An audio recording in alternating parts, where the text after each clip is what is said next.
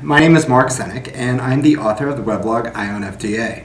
I'm going to be introducing a series of tutorials that are aimed at giving information to people that might not be that apparent or about which they might have questions, or sometimes that I see people asking about in their Google searches when they come to Eye on FDA.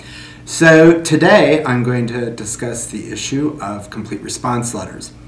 Complete response letters are something that the uh, FDA began issuing through the Center for Drug Evaluation and Research last August 11th.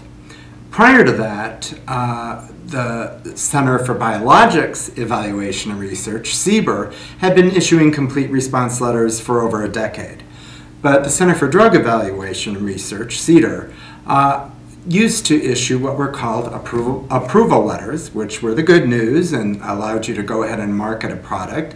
Uh, approvable letters, which would state that for any one of a number of reasons your, your uh, new drug application had not been approved, um, but that it could be approved if you satisfied a few conditions, or a non-approval letter, uh, meaning that your application simply wasn't going to make it.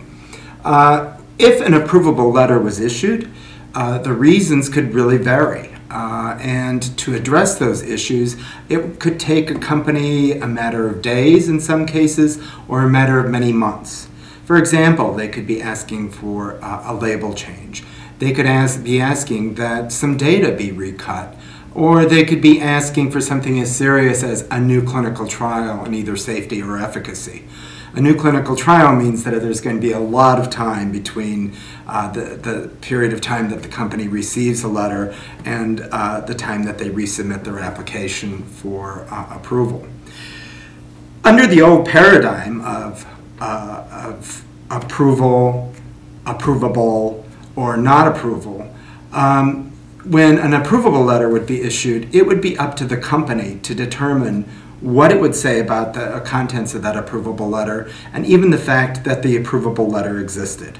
The FDA would not, in fact, say anything at all about an approvable letter situation.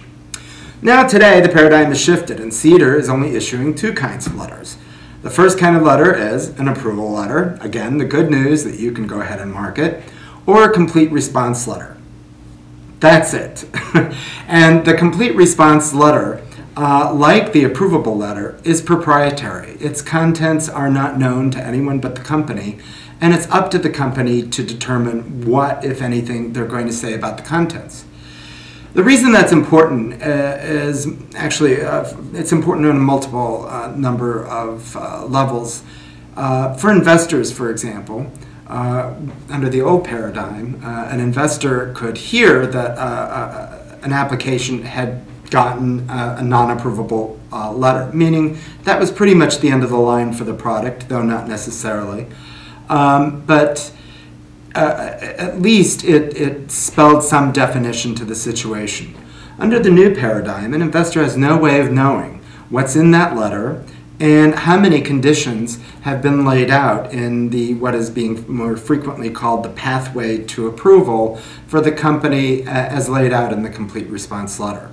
So uh, there's much more of a guessing game and almost a developing art in terms of reading the tea leaves of what companies say about a complete response letter.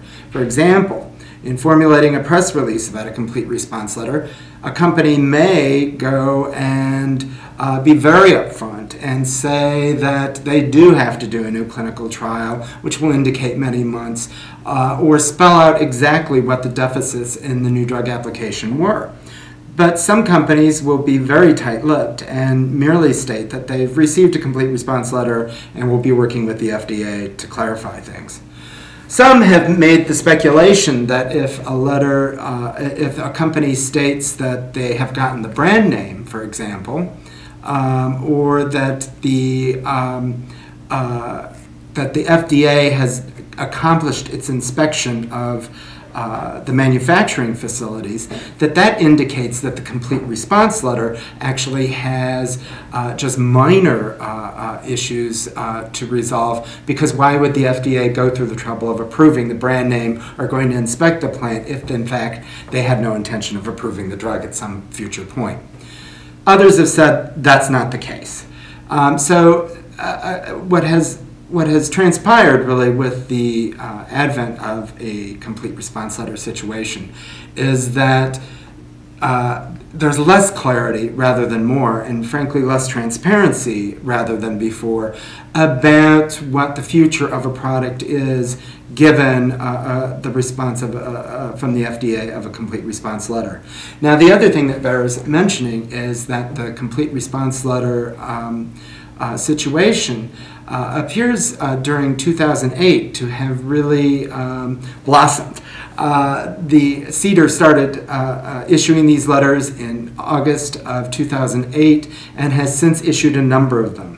Uh, a lot of the issues seem to ha uh, have to be uh, have been centered on pain medications, on medications that have to have a what was formerly a RiskMAP, now converted to a risk evaluation management strategy, um, and uh, in addition to that, the FDA is having a very difficult time meeting PDUFA deadlines.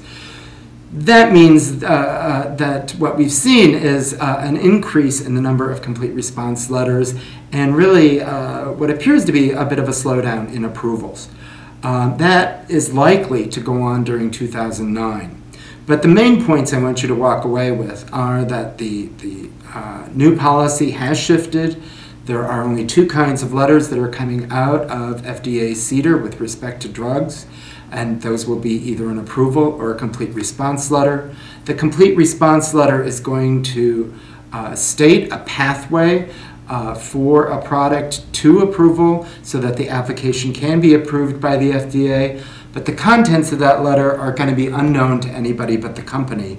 And it's up to the company to decide when and how it releases that information the style of a press release may give you indications as to what's going on with uh, uh, the application, and you may be able to discern, given the company's willingness to uh, let the information appear in a press release, uh, and, and gauge what levels of time before the NDA actually gets approval. The last thing I want uh, to say about the situation is that there are Class 1 and Class 2 resubmissions that are asked for in these letters.